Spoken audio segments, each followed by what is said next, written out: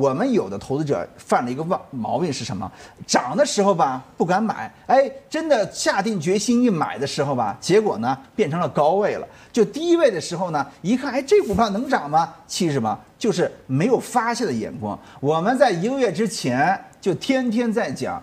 五月份是属于政策的真空期，同时也是数据的真空期。那这个阶段一定要记住了，我们不要做一些顺周期的产品，我们要做什么？我们主要就是做主题型。那这个阶段主题型什么？也就是我们所说的 AI 嘛，嗯，对吧？对。好了，刚才我给大家提示什么？下半年我们的方向很明确了，因为随着稳增长的政策，目前就是稳增长，稳什么？稳消费。对吧？扩大消费，房地产的消费，对吧？还有像这个新能源车的消费，带动消费嘛？对，新能源车下下乡嘛？对吧？但是这个数据还没有完全显示出来，因为我们现在目前四月份到五月份确定。啊，已经是经济的属于一个下行阶段，六月份是触底阶段，那么七月份会不会迎来一个反转？我们在前期强调过什么？今年的这个市场其实是一个 N 字形，我们可以看一下，也反映到上证指数什么？这个 N 字形的左侧出现了二八八五到三千四百一十八。那么我们在昨天强调过，这个位置啊，三幺六八点不是今年的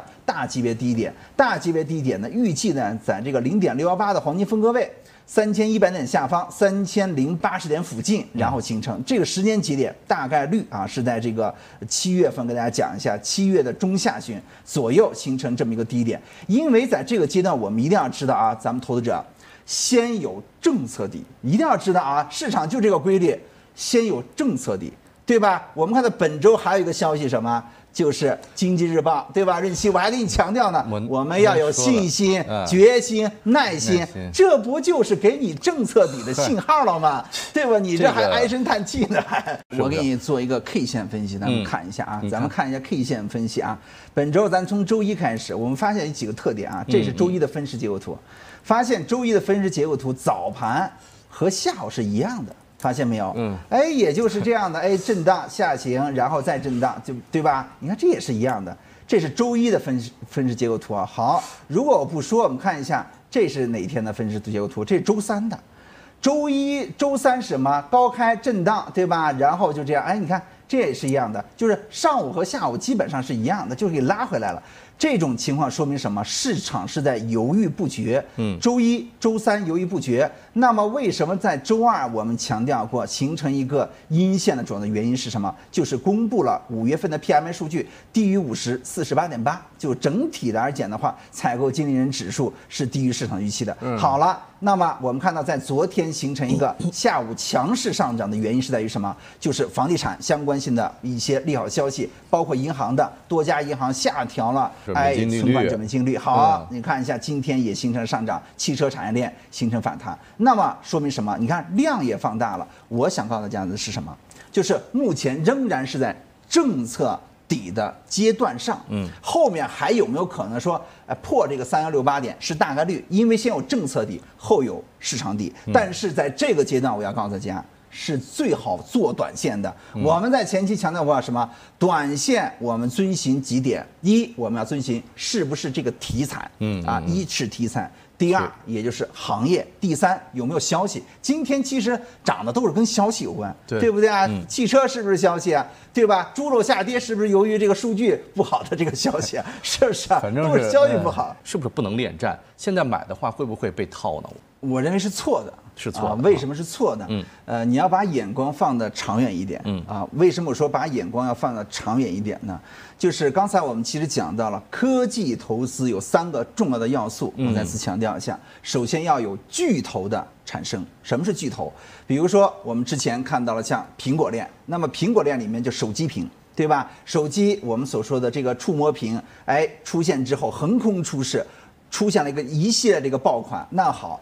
这个手机整体的更新换代产业链炒了多长时间？我告诉大家，非常长的时间，五年以上了。我跟大家说一下，你像那个时候一系列的这些呃厂商就开始加入到这个触摸屏了，对不对啊？嗯。那么目前，比如说苹果再出一个苹果的 iPhone 十五、iPhone 十六，它会不会像之前的 iPhone 四或者说 iPhone 七或者是哪个刚刚出来的时候那时候形成爆款吗？没有这种可能性，因为什么？已经容量。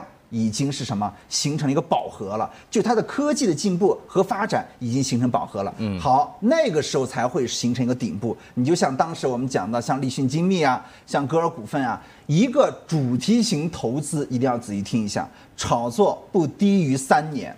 我跟大家讲一下啊，一个主题型投资炒作不不低于三年，就是刚才我们说了，先有巨头的产生，再有爆款的出现。什么是爆款？你比如说啊，之前我们讲到了像降噪耳机，就是哎，它有个替替代的降噪耳机，当时来讲的话也形成了爆款。所以说来讲的话，连续形成一个连续的上行。包括刚才我们说的，就是每出一代这个苹果手机，好恨不得凌晨两点、十二点就排着队。那现在有这种光景吗？没有这种光景了吧？就是首先有巨头的出现，然后有爆款。那么目前就是这种情况，什么呢？巨头是谁？微软。对吧？带领着 OpenAI，这就是巨头。爆款是什么？也就是我们所说的这个 ChatGPT。那么这就是爆款。现在好像人人都开始学习这个人工智能的对话了，对不对？包括还有什么呢？也就是有产业链。谁是产业链？这一轮的英伟达是产业链。嗯，所以说我们当时为什么炒作的是什么？华为产业链。华为的爆款是什么？是五 G，五 G 的通讯引领整体的一个市场。所以说连续的一个上进。我们在近期强调是什么？TMT 板块在历史上什么历史？二零一二年到二零一五年整体的炒作。不低于十倍。我给大家举个例子啊，大家可以看一下，我们在前期强调过，二零一二年到二零一五年，银之杰就是 TMT 的十倍股啊。我跟大家讲，这还不止十倍，它的低点是一块钱，高点是多少？一百零一啊。这个是银之杰。好，我们再看一下同花顺，对不对啊？那么它这个位置也是十倍。包括我们再往后看啊，这都是在二零一二年到二零一五年至少有十倍股。我们目前有没有十倍股？没有，我就告诉大家，一只都没出现。啊，这个是长亮科技，二零一二到二零一五那时候多少钱？一块钱。好了，五十一，炒了五百多倍。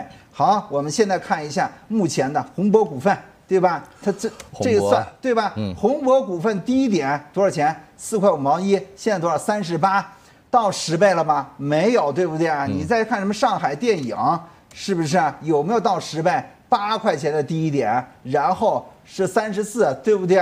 这离十倍还太远了。随便找一只什么这个中信出版，对吧？中国出版等等的都没有到十倍。那么好，时间没有到达三年，对吧？你到至少两年以上嘛，对不对？所以说我们强调的是什么？这个阶段其实最适合做短线的，一定要自己听一下。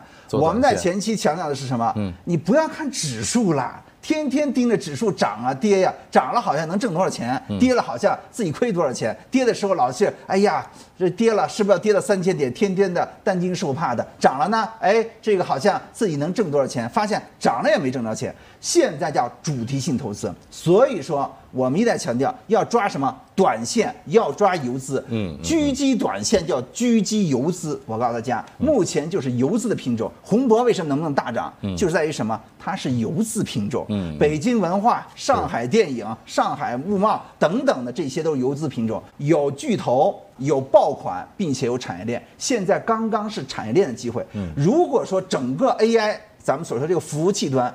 它已经形成了个饱和了，没有增量了，那对不起了，可能市场形成高位。嗯，目前讲话是属于什么？是属于一个导入期，导入期之中的什么？一个快速增长期。